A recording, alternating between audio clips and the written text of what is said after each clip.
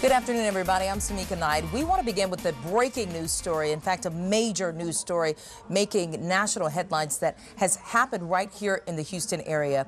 Uh, it is the story of the investigation of a missing woman uh, and her one month old baby. That woman's body found here in Houston, that one month old baby found alive. We want to get right to you, reporter uh, Brhe Berry. You've been working on this story. Major developments, including the suspect in court right now. Right. And Samica, we want to toss to that video right now if we can. This is a live feed right now of PC Court. This is happening at this very moment. So this is even more breaking in a story that is already shocking so many around the nation. What we are looking at in the red sweater on the top right corner of your screen, that there is the suspect charged in all of this. Magen Fieramusca is charged with kidnapping and tampering with evidence.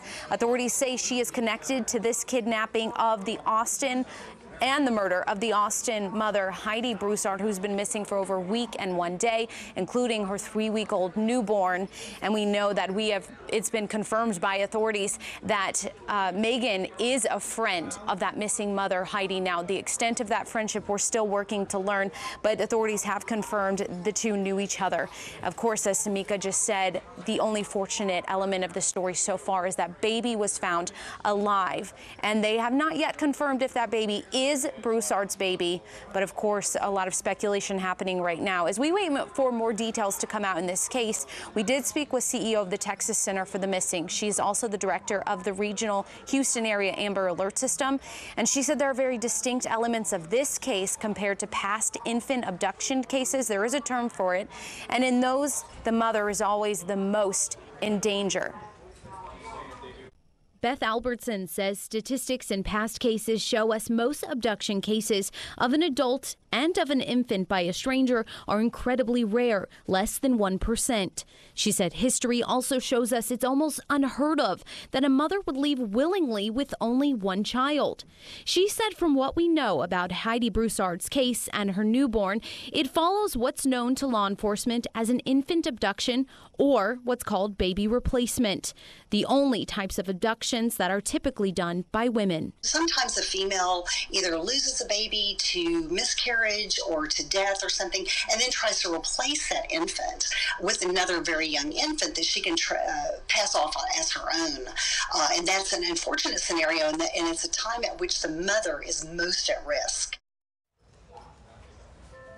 So talking with Beth Alberts, you see she's talking about, about a lot of strange elements of this case that seem to align with what is happening here that we've learned in this case today. And again, this is a live feed of PC Court here in Houston where we are watching in the red sweatshirt with her head down there in the back on the top right of your screen.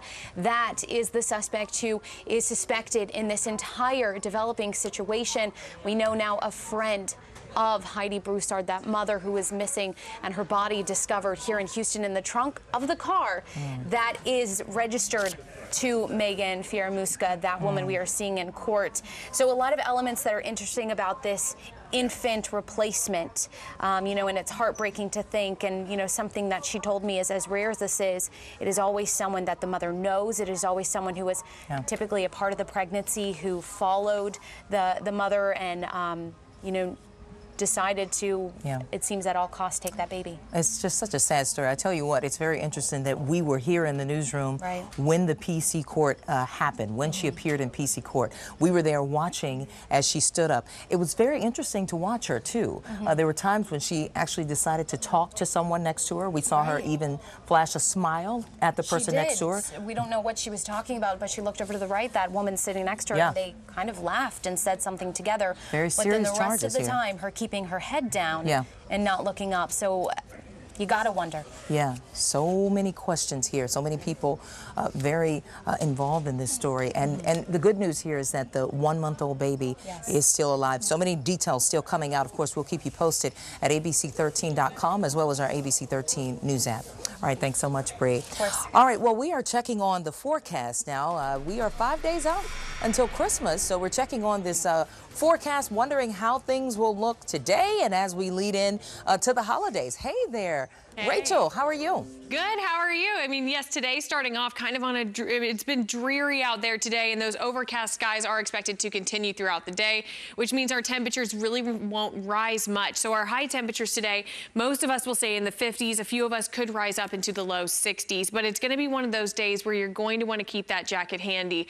And not just the jacket, also make sure you keep the umbrella because we also have a chance to see some of these scattered showers, especially heading into the, I would say, the evening hours and into Saturday morning. So don't just keep the umbrella around today, keep it around as we head into the start of your weekend. So you can see this is Saturday at 2 a.m. looking at all of that rainfall there. And most of these should just be general showers. So just some light to moderate rain, although an isolated storm or two cannot be ruled out. But again, most of these showers. Then as we head into the day on Saturday, this is at 11 a.m., still looking at that rain chance, and it looks like it could continue into the afternoon and early evening. But good news is Sunday, we will will start to clear on out. So it will actually end up being nice as we head into Sunday. And if you are planning on traveling, that rain chance could affect some of us as we head into Saturday. But then as we head into Sunday, the entire state of Texas looking fantastic. Back to y'all.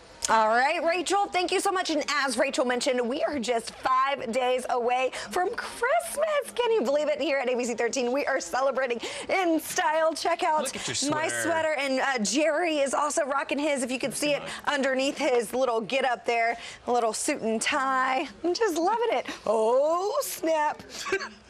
Get it? Haha, oh snap. And then it's missing like a little piece of, I kind of, I, I bet it. You know, you can never just leave the gingerbread there. All right, well, we're going to get to some other people all dressed up in the newsroom as well coming up on the midday. But first, we still want to hook you up with some deals in case you're looking for those last minute Christmas presents. So today's digital deal of the day, you can get a family tent that sleeps up to 10 people. This is incredible.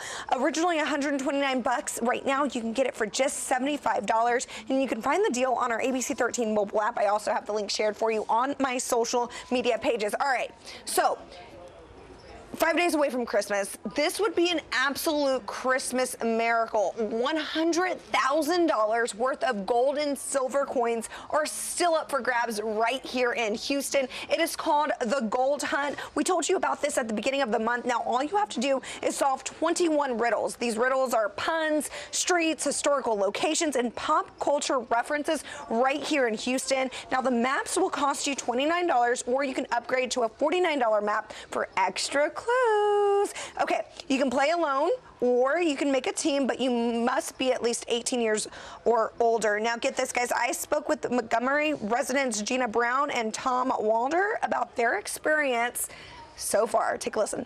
You're very familiar with the north and the west side of Houston, but coming over here towards the south and downtown Houston, um, it is an adventure. The experience for the gold hunt here has uh, been incredible. Uh, to get out and hunt real live treasure has been amazing.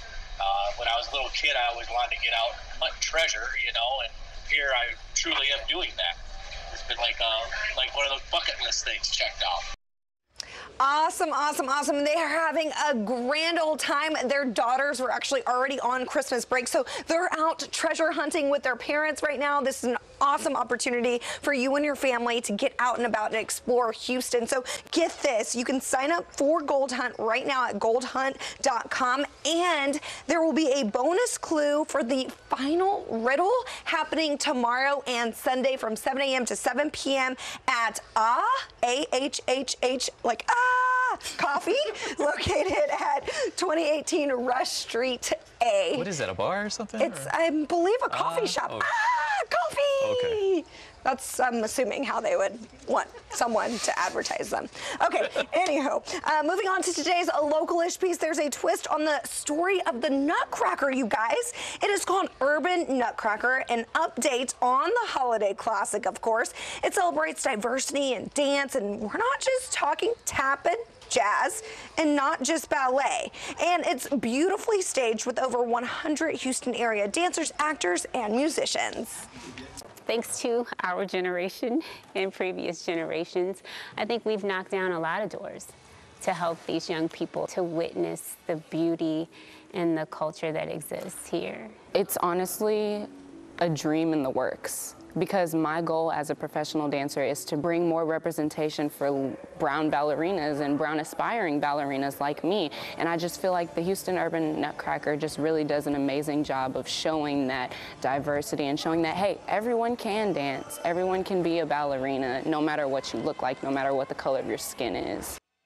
All right, guys, so the final performances are happening this weekend. Tickets for Sunday night show at the Stafford Center are still available. And for more information on this, you can head to abc13.com slash localish. Well, as I mentioned, the midday, we are celebrating Christmas with our special holiday cheer. And look at some of the people I was able to round up out of our newsroom. Take a look at the photo. We had several people participating here at ABC 13 this morning. How about that? It was a friendly competition of who had the best ugly sweater. And can you guess who that might have been? Like, come back to us live. Like, okay, everyone looks spectacular. Let me just first start out by saying that Lawanda, she does all of our editing and the, all kinds of stuff for us behind the scenes. and this is nowhere near ugly, as Jerry just said. You look absolutely adorable.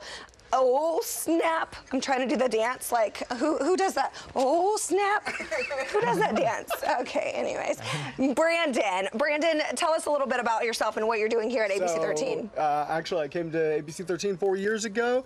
Uh, started in the digital department. I'm now director of community engagement, and today I'm also portraying the Grinch. So. Where'd you get the sweater? Uh, actually, at Target a okay. year ago. It's been in my closet. I was waiting to break it out at the most perfect time, and I was like, today it's now or never. okay, so we like to call Brandon Mr. Disney as well. So he was also our winner today for our competition. So yes. good job. and last but not least, tell us about yes, yourself. I'm Sarah. I'm a digital producer. Um, I love Nightmare Before Christmas. It matches my shoes too. Oh, get the shoes. Get the shoes, Jerry. it's a full it. package. Wow. Okay, but wait. Yeah. I don't think we saw that during the competition. Yeah, it wasn't taken into account. Oh, oh shots fired. Recount. We need to recount. Recount.